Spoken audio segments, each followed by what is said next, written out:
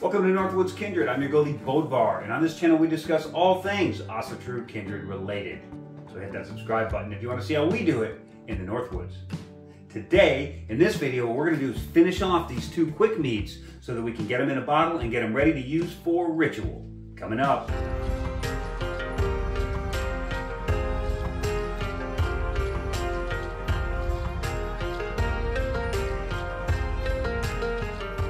So before we can use these, these are these are quick meads. Uh, we actually let them go a little longer than we probably should have. We brewed them in the beginning of December, and now we're about this, a month into it, maybe a month and a week. Uh, we could have done this about as early as three weeks. We just got busy, and you know how it is. So we're going to kill the yeast to keep it from you know, expanding in the bottle and blowing a cork and making a big mess like it does sometimes. But if you're gonna use it right away, if you're gonna brew from gathering to gathering to gathering, you don't have to worry about killing the yeast. You can just put it in a bottle, take it out the ritual, you know, or consume it at your gathering and it'll all be just fine. But since this will most likely get set up on the shelf and used for some occasion down the road, we don't want it to get hot and paint the ceiling in honey wine. So we're gonna go ahead and kill the yeast. That's what we're gonna do first. Now, what we're going to use to kill the yeast is a chemical called potassium sorbate, or PSK. Pretty cheap. You can get it on Amazon. I'll link to it below. And we're going to use this formula that comes, the instructions are right on the bag. If not, you can Google it. And it's essentially, we're doing a one gallon batch, so we're going to use three quarter teaspoons. And then you can just multiply that by any size batch you're doing, whether it's a five, an eight, or a hundred. Just multiply it by that, and then you can dilute the stuff prior to and put it in. But since we're dealing with such a small batch, we're gonna do it a little bit different. Plus we're dealing with basic kitchen equipment here, not more of an advanced brewing equipment. So we're doing this on a strict budget, uh, so we're not gonna do racking canes and all that cool stuff. We're just gonna do the best we can do. So I'm gonna remove this uh, fermentation lock, and I'm gonna very gently pour this into there. If I get a little bit of the sludge out of the bottom, no big deal. You know, some people like to chew their meat anyway. This is not sterile, but it is a clean container. It's not sterile because this will be used immediately. But now I just want to try and get as much mead in it without disturbing that yeast. But I will disturb it, it will happen. Now as this oxygenates and aerates, this could actually kick off the brewing cycle again. It could start fermenting and bubbling and doing cool things. We're not going to over concern ourselves with that because we're going to kill it anyway. Looks like most everything's coming with it and that's okay. We're gonna call that a win. I'm not gonna go any farther because you can see, I don't really wanna add that to the mix. So rather than add that, we'll just call this trash. We're gonna stick the lid on this bottle for a second and rinse this one out. Now this is a really good thing to do if you live out in the country because adding that yeast into your septic system will help it break down all the biomatter and bacteria that's in there and help keep your septic functioning well. So Never be afraid to dump some yeast down the drain. If you're in the city, well, that's the city's problem.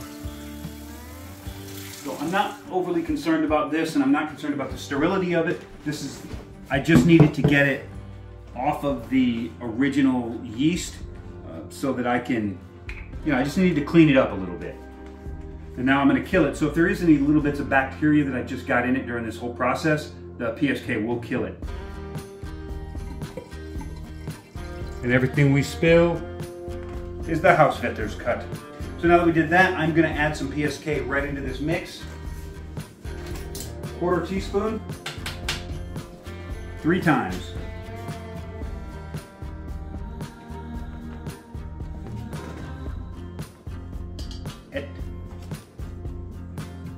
And I will put this back in just to keep any foreign particles out while we let that PSK do its job, we're going to repeat the exact same process on our other quick mead that we did in the plastic jug.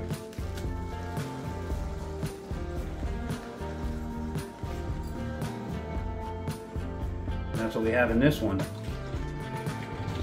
I'll slosh that yeast around a little bit.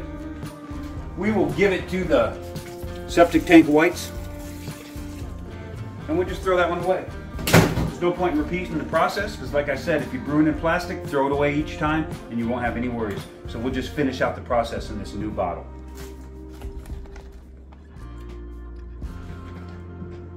And we'll just give these some time to die in peace.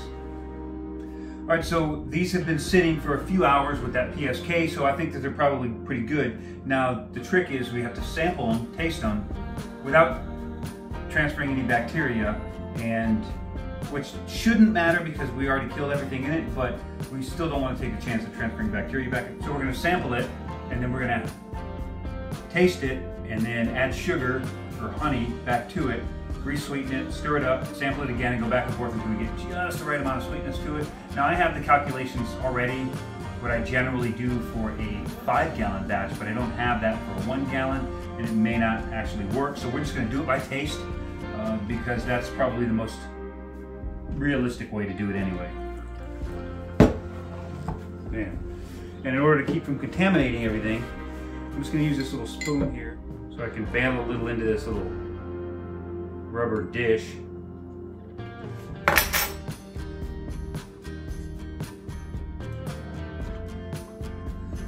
It's good, but it's it's very alcoholic and very dry taste. So we're gonna add a little honey. Probably went a little overboard with that batch. And I just gotta, um, since it's not, it's room temperature, but it's not warm, so it's gonna take a minute to dissolve this honey.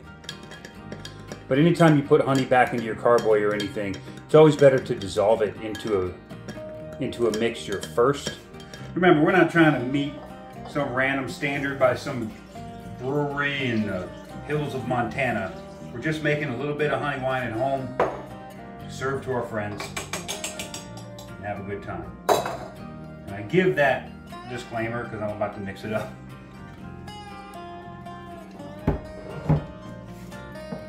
Get the little spoony on. All right, sample number two, back sweeten number one.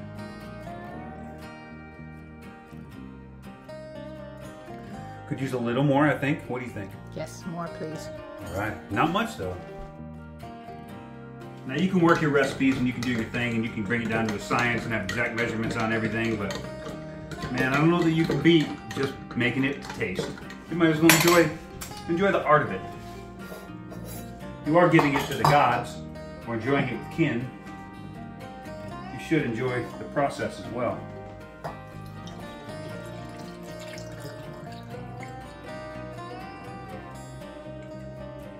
Taste test number three. Sweeten number two.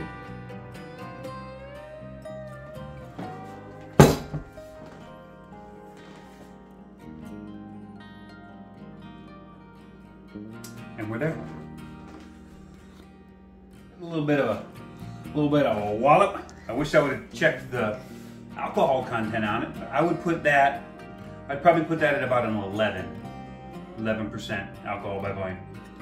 We'll do the same process again with the second batch, the one we brewed in plastic. And I will admit, it's not something I've ever done. I've always brewed in glass. So we will see what we get with this thing. Okay. Give a little, a little sizzle here.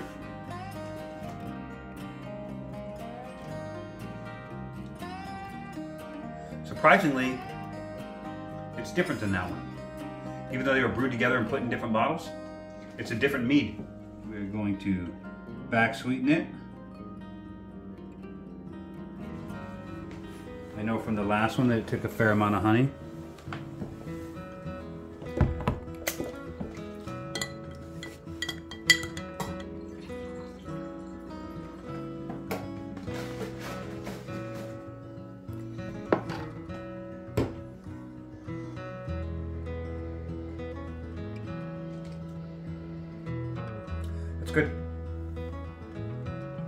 Less honey on that one. Okay, so I'll clean up this mess and then we'll get some bottles sterilized and then we'll just transfer this to the bottles, throw some labels on it, we'll get going. Okay, so you can do whatever you want when it comes to bottling. You can pour it into an old wine bottle and screw the lid on, uh, consume it immediately, it really doesn't matter. But what I'm planning on doing with these, since we made a quick mead and we don't usually do it like that, I'm gonna put mine in beer bottles and I'll set them aside and I'll of course serve them up to my kinsmen however we need them and I'll also set aside a little bit just for kind of a if I want to go do a solo blot or if I want to you know go thank the gods for one thing or another, and I don't want to do a big kindred ritual with a big bottle of mead, I've always got one or two of these that I can throw in there. Or uh, I use them a lot for just kind of like small offerings. So we're just going to put them in beer bottles because that's a very convenient way to do it and a way to keep track of it.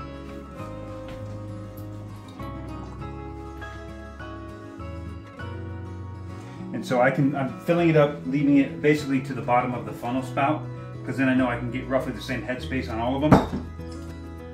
One bottle to the next. I'll set a cap on it just to keep any foreign particles from landing in there like dust or gnats. And I'll just go through the whole process.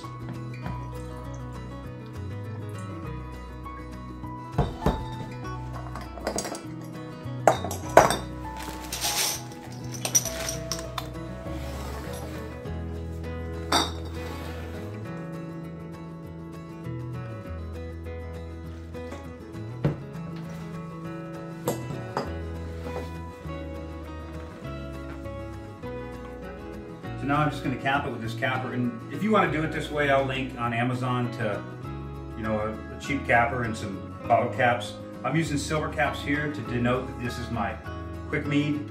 Um, I usually use black caps for my other meads. The first video in this quick mead series is linked to in the end card, so go watch that one too, and you'll see that I grew both of these meads exactly the same, and then just split them up into two separate containers. That's all I did.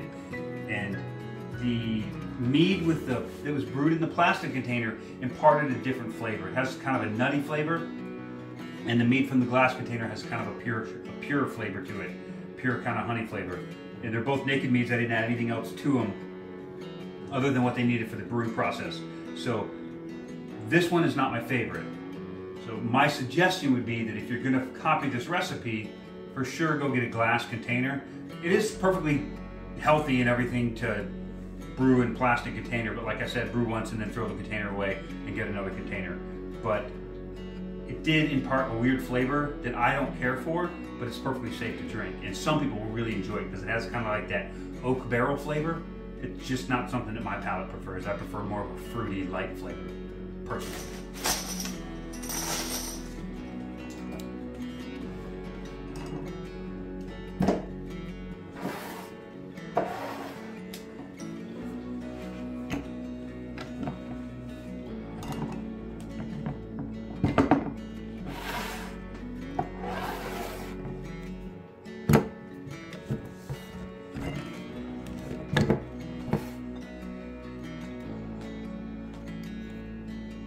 So I labeled the caps with P and G for the one that was brewed in plastic, the one that was brewed in glass.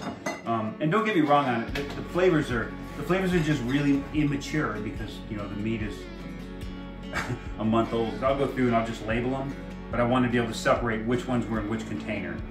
So I'll just label them in, in blue painter's tape. That's how I do it because I don't have to worry about how to clean the bottles afterwards. I just peel the tape off and it's clean with no residue. When you do this, um, refine your recipe. When you build up the equipment and everything, don't be afraid to experiment, add cinnamon, add spices, add some apples, add some peaches, plums, pears, whatever you want. Um, experiment with it, have fun, play with it.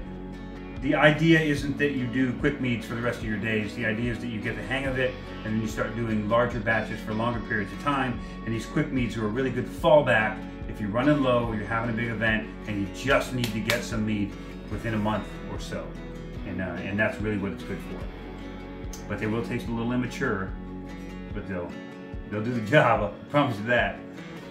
Also, when I brewed this, I brewed this double batch and I split it for the two different containers. I think we did a pretty good job of splitting the mead fairly equally, and then it just so happened that the one that has the most is the one that I like the most, so that works out pretty good for me.